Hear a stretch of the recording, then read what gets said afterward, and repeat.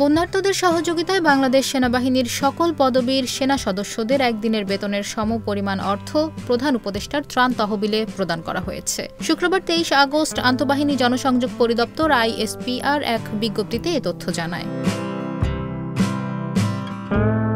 বিজ্ঞপ্তিতে বলা হয়, বাংলাদেশ সেনাবাহিনীর সকল পদবীর সেনা সদস্যদের একদিনের বেতনের সম পরিমাণ অর্থ বন্যার্তদের সহযোগিতায় প্রধান উপদেষ্টার ত্রাণ তহবিলে প্রদান করা হয়েছে। ফেনী, চট্টগ্রাম, কুমিল্লা, নোয়াখালী, সুনামগঞ্জ, হবিগঞ্জে চলমান ভয়াবহ বন্যায় ক্ষতিগ্রস্তদের সাহায্যার্থে মানবতার সেবায় এ অর্থ প্রদান করা হয়। বন্যা কবলিত এলাকায় সেনা সদস্যরা সক্রিয় ভূমিকা পালনের পাশাপাশি একটি মহতি উদ্যোগে সরাসরি সম্পৃক্ত হল বলেও বিজ্ঞপ্তিতে উল্লেখ করা হয়েছে। আরও বলা হয়েছে এই তহবিলের অর্থ ত্রাণ ও কল্যাণ কাজে ব্যয় করা হয়। প্রেরিত অর্থ সরকার কৃতজ্ঞতার সঙ্গে গ্রহণ করে এর যথাযথ হিসাব সংরক্ষণ করবে।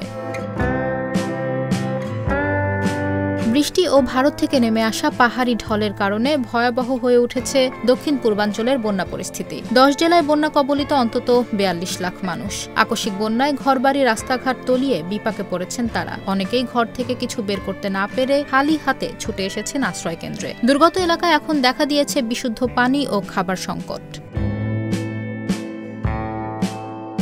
দুর্গত এলাকাগুলোতে সশস্ত্র বাহিনীর সহযোগিতায় উদ্ধার ও ত্রাণ কার্যক্রম শুরু হয়েছে। এ বন্যায় এখন পর্যন্ত ১৩ জনের মৃত্যু হয়েছে, আর তিন হাজার একশো ষাটটি কেন্দ্রে আশ্রয় নিয়েছেন এক লাখ আটাশি হাজার মানুষ।